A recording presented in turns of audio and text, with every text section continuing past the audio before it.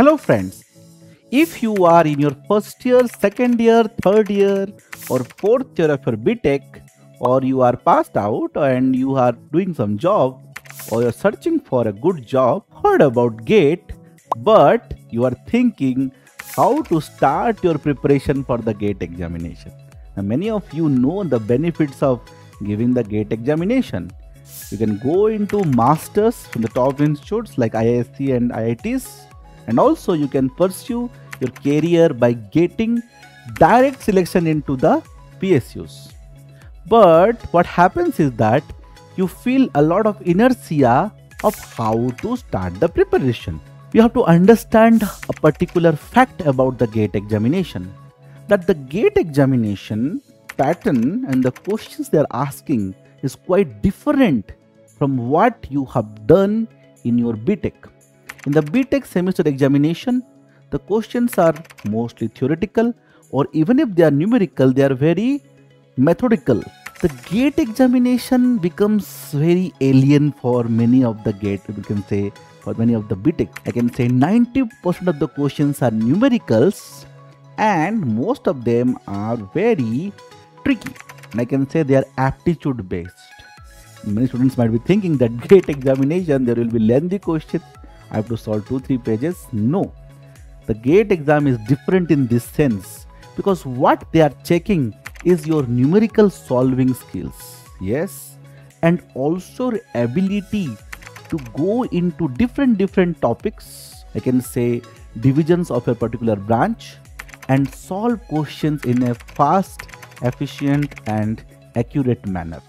Yes, but the thing is that all the questions are very conceptual.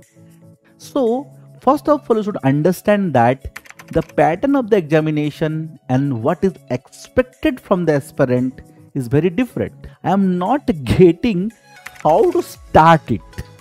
So I'll give a very practical tip and that will definitely help you. So you can see in our GATE Wallah channel, there will be lot of videos, yes, on different subjects, yes. And if you go to the playlist also, there will be lot of videos ordered in the order of how they are taught in the classes.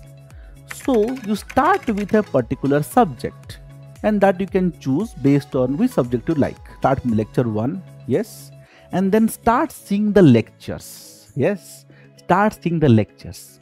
As you start seeing the lectures, you will get into the groove of things. Because sometimes what happens, before actually starting the preparation, we do a lot of analysis, a lot of overthinking and I always tell a line that too much of analysis leads to paralysis. Yes. So sometimes you are thinking so much that no, you are not even starting a preparation.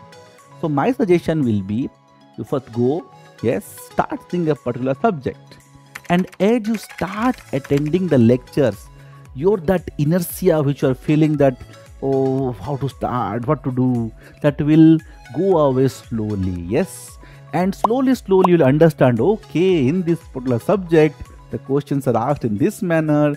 This kind of concepts are asked and i have to develop my concepts in this manner to solve the questions. And in those videos there will be a lot of previous questions which we discussed. So as you start solving the previous questions then your confidence will also increase and then you can fully give yourself into the full-fledged preparation of gate so hope this particular strategy helps you. Yes. So to summarize what I have told that the gate examination is a very different kind of examination. Yes. And therefore you have to understand what the exam demands from you. And for that if you are feeling inertia how to start I told that you start seeing the videos and when you are sitting for studies so don't just uh, you know take the phone and you know you are you know just see like that. Yo, no no this is not a movie. It's not a movie. So when you are studying this is engineering. You should sit properly on a chair and table and you should take your notebook calculator yes and you should study making notes running notes along with the teacher. Need not be very beautiful notes. It can be running notes rough notes.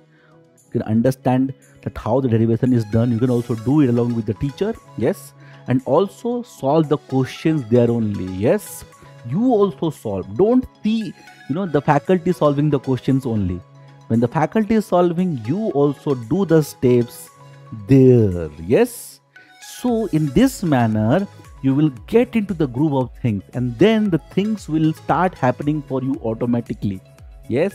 Then you will also start developing interest to study all the subjects. Yes and then you will get motivated in such a manner that you will be pushing yourself for the preparation. Yes? So i think this particular approach you're going to apply and leave your valuable comments in the comment section. Thank you very much